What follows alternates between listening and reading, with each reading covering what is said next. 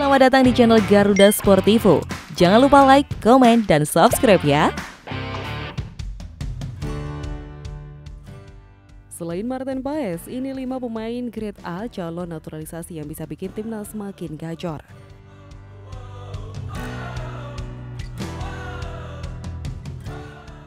Penampilan timnas Indonesia di dua laga kualifikasi Piala Dunia 2026 zona Asia sangat menjanjikan.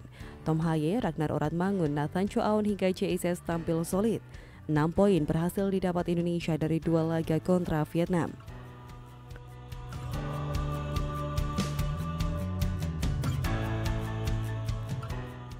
Publik semakin antusias dengan program naturalisasi PSSI. Belakangan nama yang akan segera menyusul mengucap sumpah menjadi WNI adalah Martin Paes. Sang kiper utama FC Dallas dikategorikan sebagai pemain grade A. Selain dia, ada beberapa pemain grade A yang telah masuk radar naturalisasi oleh PSSI. Bahkan beberapa nama di bawah ini sudah berkomunikasi dengan Ketum PSSI Erick Thohir.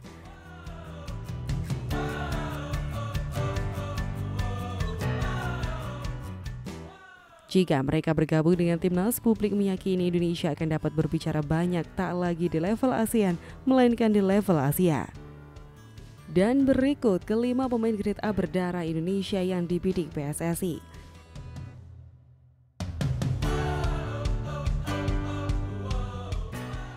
Di urutan pertama ada Daniel Klein. Beberapa kiper memang masuk radar naturalisasi PSSI.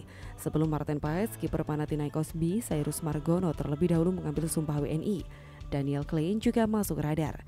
Kiper FC Augsburg tersebut bahkan sempat dihubungi Fardi Badim, kakak Irfan Badim yang berperan sebagai agen sekaligus jembatan antara pemain di Eropa dengan PSSI serta Erick Thohir.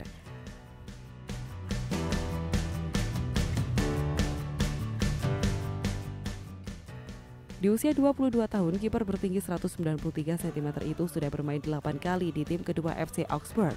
Adapun FC Augsburg merupakan kontesan Bundesliga divisi teratas di Jerman.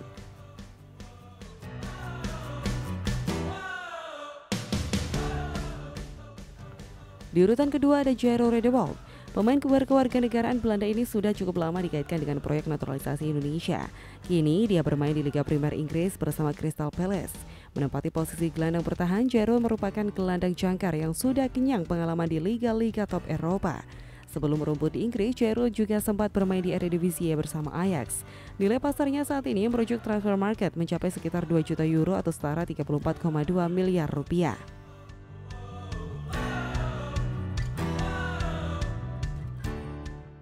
Di urutan ketiga ada Milian Manuf.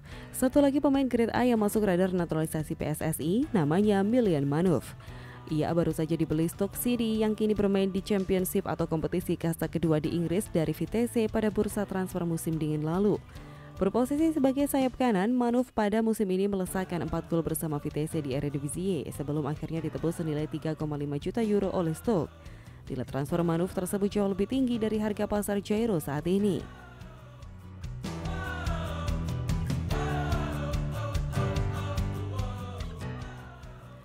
Di urutan keempat ada Jaden Osterwold. Berbeda dengan ketiga pemain sebelumnya yang memiliki darah campuran Belanda Indonesia, Jaden Osterwold justru berdarah campuran Turki Indonesia. Jaden yang berposisi sebagai pemain bertahan saat ini membela Fenerbahce. Tak hanya mengandalkan fisik yang kuat, Jaden dinilai sebagai defender yang cerdas. Kemampuannya dalam membaca permainan dan membantu build up dari kedalaman akan sangat disukai Sinteyong.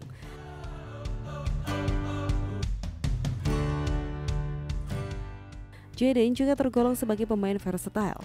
Tak hanya bisa bermain di posisi bek tengah, ia juga sempat dijajal bermain di posisi bek kiri dan gelandang kiri dalam 24 laga yang dijalaninya musim ini.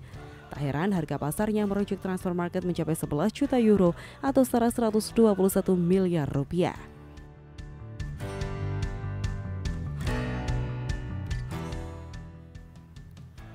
Dan di urutan kelima ada Ole Romeni. Jika dibandingkan dengan empat pemain grade A sebelumnya, oleh Romeni merupakan opsi naturalisasi yang paling realistis bagi PSSI. Ia sudah mengungkapkan ketertarikannya. Selain itu, penyerang FC Utrecht ini juga berkomunikasi langsung dengan Tom Haye, Ragnar Oratmangun hingga Ivar Jenner.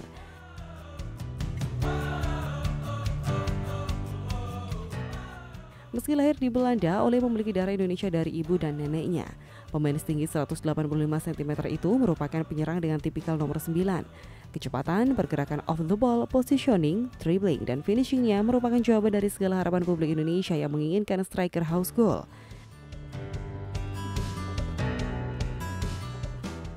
Tahun ini Ole memang baru bermain 13 kali dan hanya mencetak satu gol di Eredivisie. Namun musim lalu ketika fit hampir sepanjang musim, Ole mampu melesakkan 11 gol dari 33 penampilannya bersama Utrecht di Liga teratas Belanda. Jadi, bagaimana pendapat kalian sahabat Sportivo? Tulis di kolom komentar ya.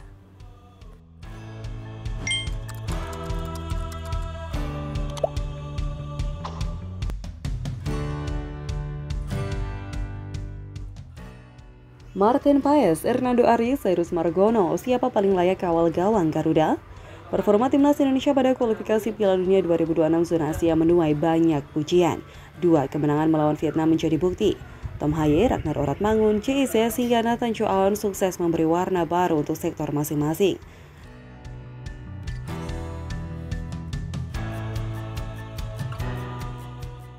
Sinteyong tinggal mencari satu kepingan puzzle lagi untuk posisi kiper. Siapa yang layak menjaga gawang Garuda? Hernando Ari, Cyrus Margono atau Martin Paes? Ketiga pemain memiliki keunggulan masing-masing. Dan berikut statistik lengkap ketiga kiper tersebut.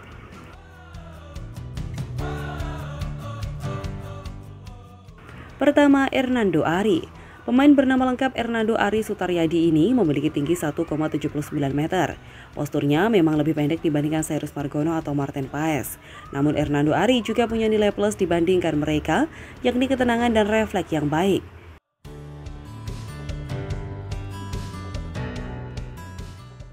Tahun 2021 lalu, ketika usianya baru 19 tahun, Hernando sudah diberi kepercayaan oleh Sinteyong mengawal gawang timnas senior.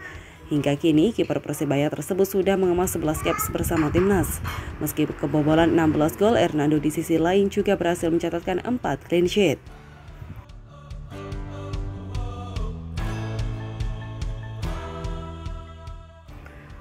Kedua, Serus Margono. Sejak 2021, Serus Askon Margono bergabung dengan Panathinaikos FC di Liga Yunani. Kiper bertinggi 191 cm itu menghuni skuad Panathinaikos B. Performanya bersama tim kedua Panathinaikos di Super League 2 membuat dia dilirik Sinteyong. Adapun di musim ini, Cyrus telah merumput sebanyak 8 kali dengan catatan kebobolan 12 gol dan satu kali clean sheet. Cyrus telah mengambil sumpah menjadi WNI pada Kamis 21 Maret lalu di kantor wilayah Kemenkumham DKI Jakarta.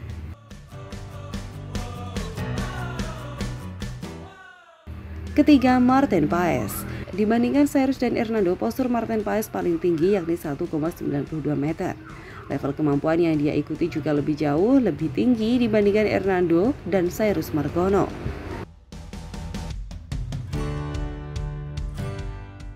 Sejak 2022, Martin Paes telah menjadi kiper utama FC Dallas di Major League Soccer atau MLS. Pada musim ini dia baru turun 4 kali dan kebobolan 8 gol. Sementara musim 2023, Martin Paes bermain sebanyak 30 kali dan kebobolan 29 gol. Ia juga mencatat 8 clean sheet, salah satunya saat melawan Inter Miami FC.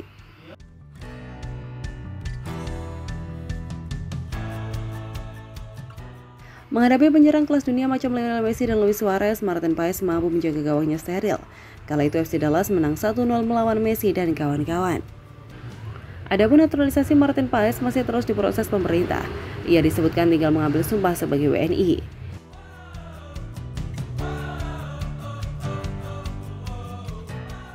Di sisi lain, lanjutan kualifikasi Piala Dunia 2026 zona Asia bergulir 26 Maret 2024. Di grup F, timnas Indonesia menang dengan skor telak 3-0 atas tuan rumah Vietnam.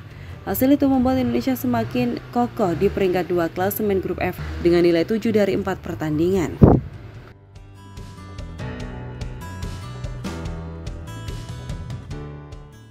Cukup dengan satu kemenangan lagi Indonesia bakal mengamankan tiket lolos putaran ketiga. Sebab jika itu terjadi, poin tim Garuda tidak mungkin terkejar Vietnam dan Filipina. Gol pertama timnas Indonesia pada pertandingan tadi malam dicetak JIS di menit 9.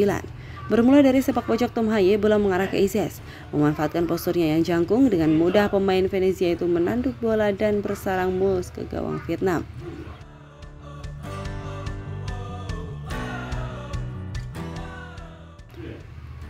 Sedangkan gol kedua dicetak Ragnar Oratmangun pada menit ke-24. Melalui skema serangan balik, Oratmangun berhasil lolos dari kepungan empat pemain lawan.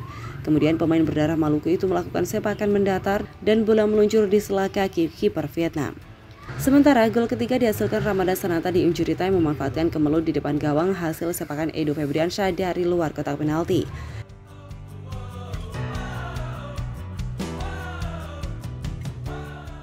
Kemenangan ini merupakan yang pertama diukir timnas Indonesia di Hanoi dalam 20 tahun. Kali terakhir Indonesia menang di Hanoi pada 2004 silam di ajang Piala AFF. Di sisi lain, kekalahan atas timnas Indonesia tadi malam merupakan kali kelima bagi Vietnam selama ditangani Philip Trochier.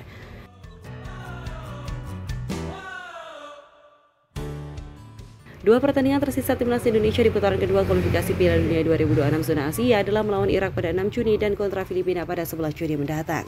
Indonesia bertindak sebagai tuan rumah di kedua pertandingan tersebut. Sementara itu, kecuali Indonesia, wakil ASEAN lainnya yang bertanding tadi malam semua meraih hasil minor.